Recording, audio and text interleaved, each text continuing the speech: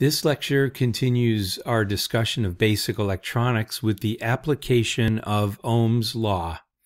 If you remember from the previous lecture, I told you that this circle would be very useful and I would recommend that you make a copy of it, uh, or if you have to, do a Google search and find one that uh, is a little easier to print.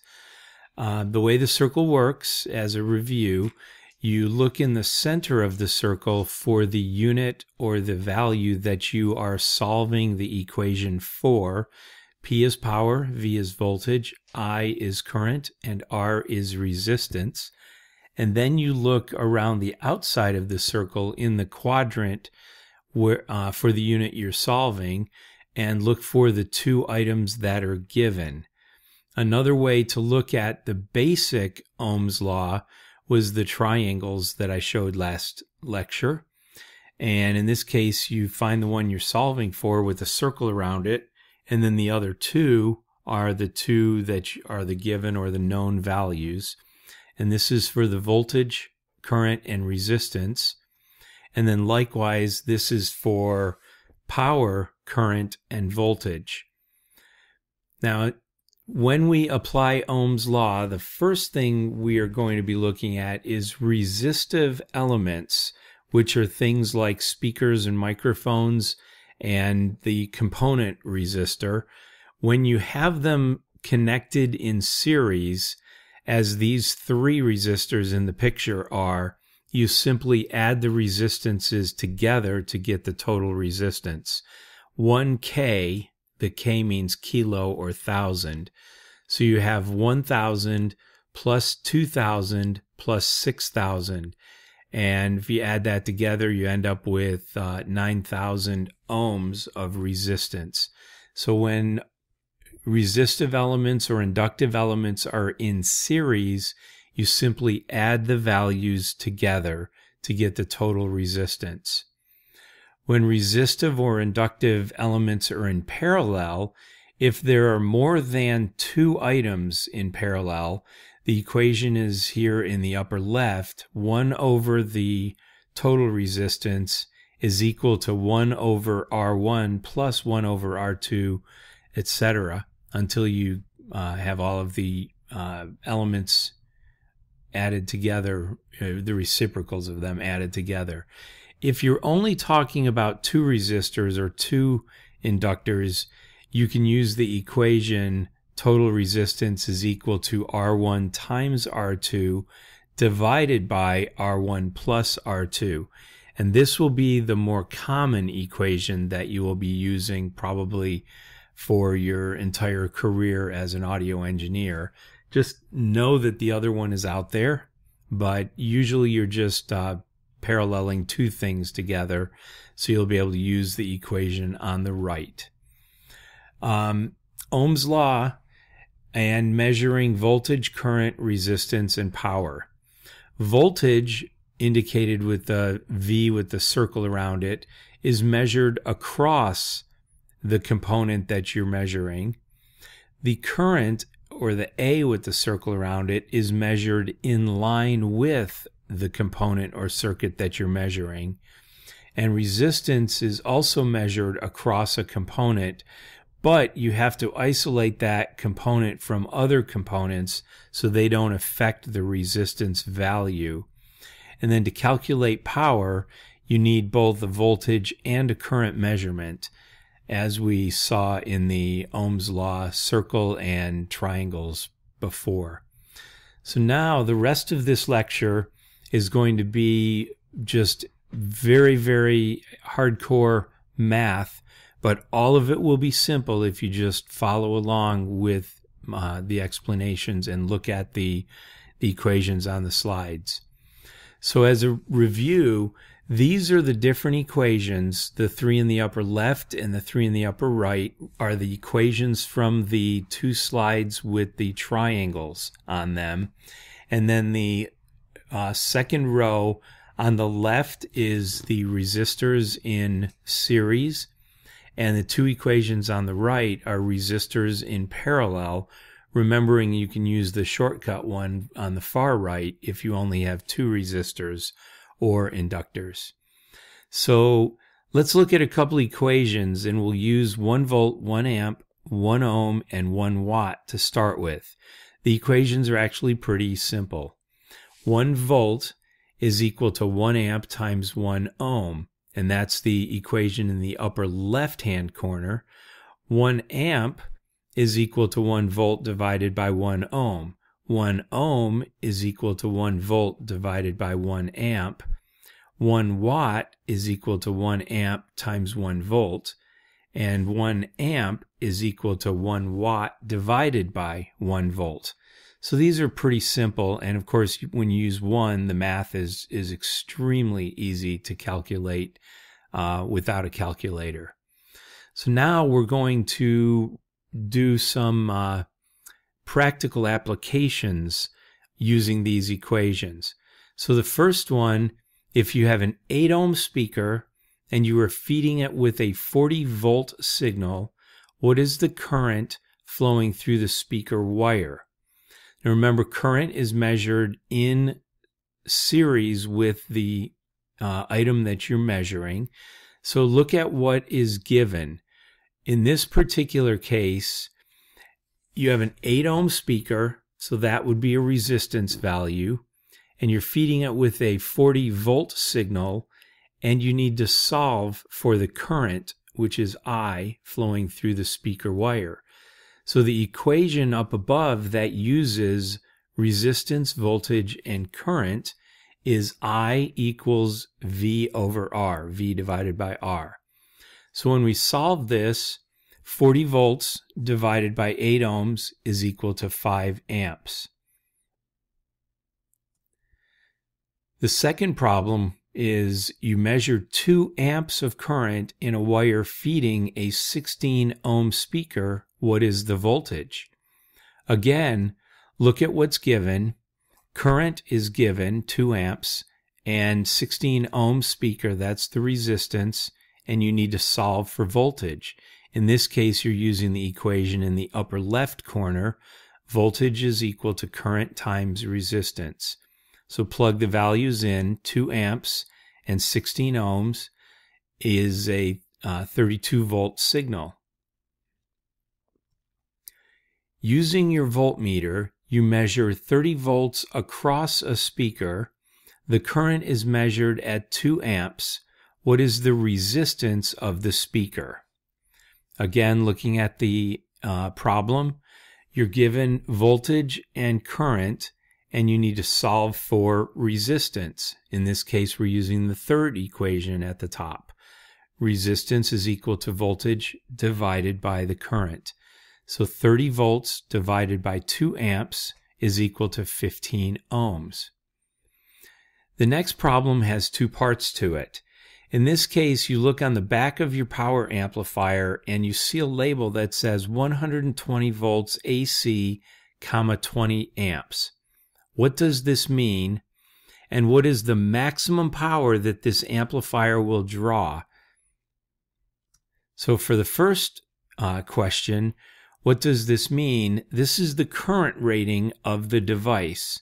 Sometimes it's referred to or, or called the power rating, but in order to have the power, you need to calculate the power. You're given, in this case, the current, which is 20 amps.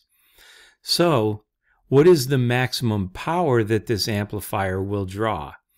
In this case, we look for an equation that has volts, current, and power. And the power is what we're solving for. So it turns out it's the fourth equation on the top row. Power is equal to the current times the voltage.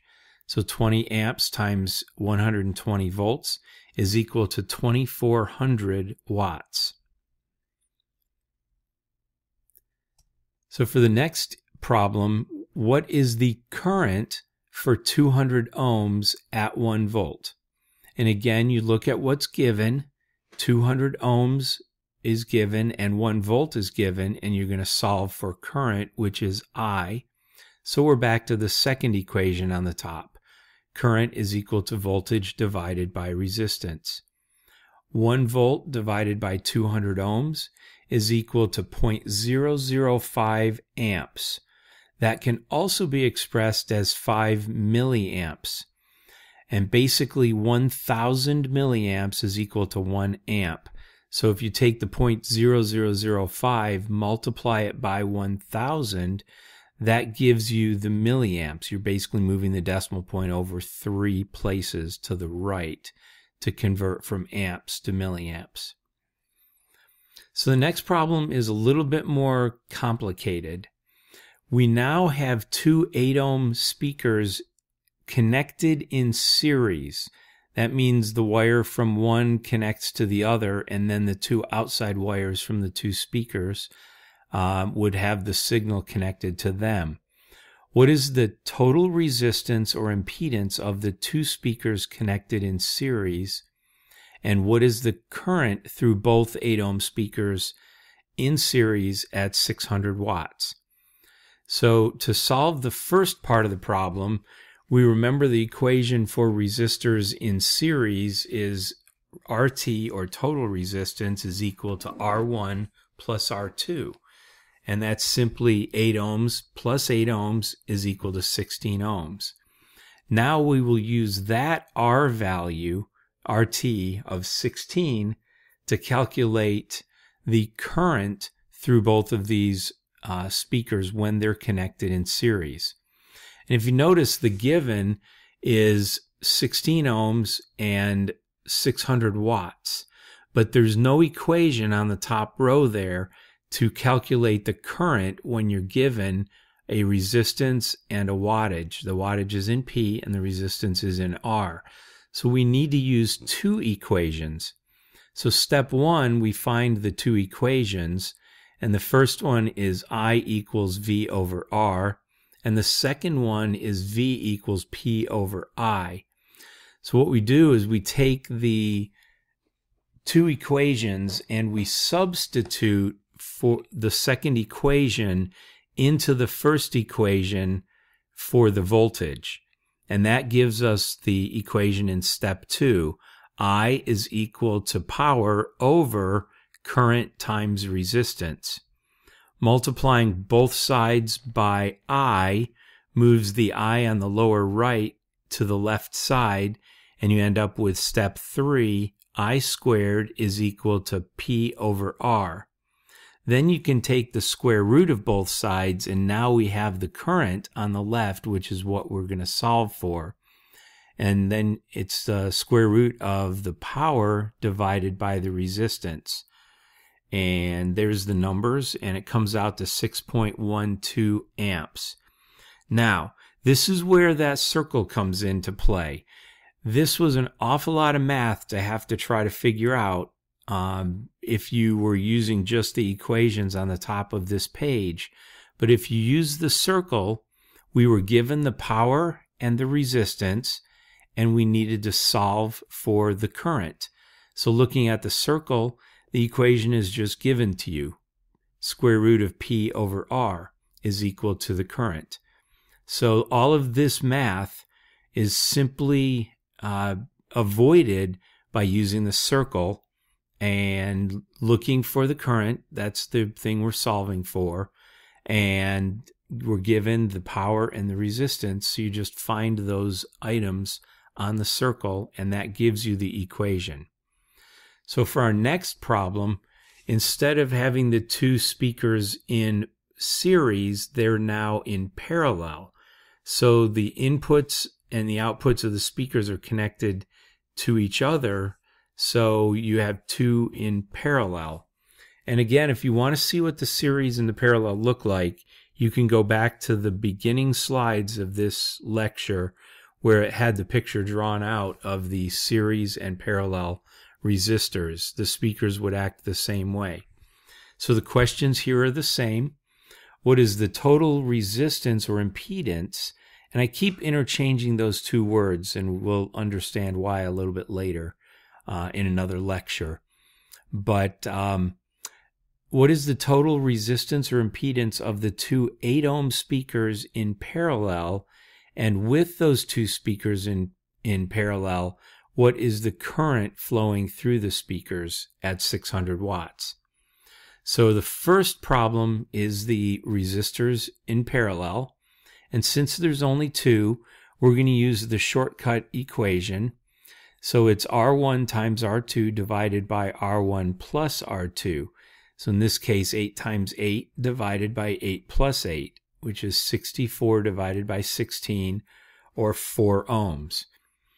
Now, if you noticed when the uh, resistors were in series, they added together.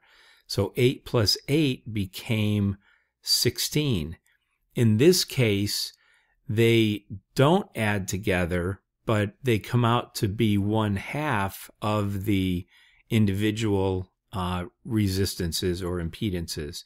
Now, don't use that as a shortcut because if the two values are not the same, they will not equal one half. But if they are the same, you can just divide by two as a even shorter shortcut than this equation. But I would recommend using the equation um, RT is equal to R1 times R2 divided by R1 plus R2 just so you get familiar with it.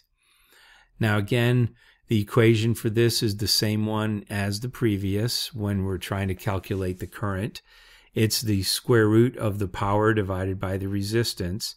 So in this case, it's going to be 600 watts divided by 4 ohms, which gives us the square root of 150 or 12.25 amps are flowing through the the speakers when they're wired in parallel with a 600 ohm signal. The next problem is what is the power for a 40 volt signal into a 16 ohm load? Now, again, if you look at the equations on the top, power, which is I, voltage V, and 16 ohm load R, is not one of the uh, equations listed on this page. So to avoid having to combine multiples together, the easiest thing to do is to go back to our circle. And in this case, we're solving for P or power, and we know the voltage and we know the resistance. So the equation is in the upper left quadrant, V squared over R is equal to P. So when we plug those numbers in, for a 40 volt signal into a 16 ohm load, the power is 100 watts.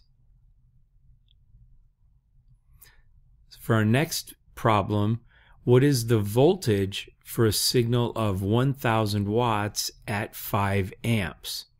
Again, we do see in this case the equation that we're looking for is in the upper right corner since we know the P, which is 1000 watts, and we know the current I, which is 5 amps, we can solve for voltage. But again, if you remember, if you have that circle in front of you, you're solving for V and you know P and I, you can find it on the circle. So it's much easier again to have the circle in front of you when you're trying to do these kind of calculations. So here is that problem solved. V is equal to P over I, or 1000 divided by 5, or 200 volts. I've given you the answers, and you uh, try to solve these on your own using the circle. In this case, for this one, you're given 6 ohms, which is R, and 600 watts, which is P, and you're going to solve it for the current, which is I, and for the voltage, which is V. Use the circle to find the equation that you're looking for, and then take a few moments to solve this